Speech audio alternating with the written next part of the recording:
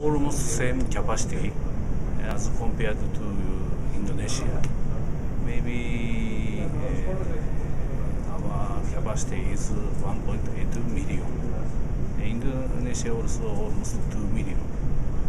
Uh, this is uh, suitable capacity for uh, Yamaha standard uh, production system. First, our, our first target is scooter segment. And next, our target is commuter motorcycle. Uh, that is, we have to export to global country. Uh, for order to export uh, foreign country, we need commuter bike like one to five cc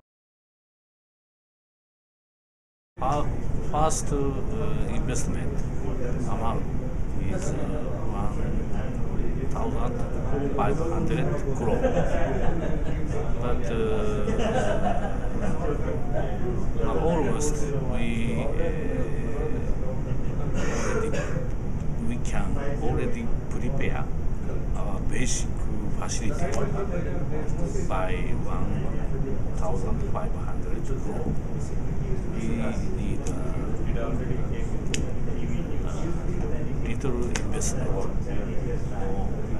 commuter motorcycle.